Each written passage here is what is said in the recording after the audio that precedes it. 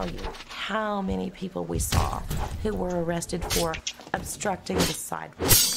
Um, this means they were asleep on the sidewalk for public. Oh, For, okay. Uh,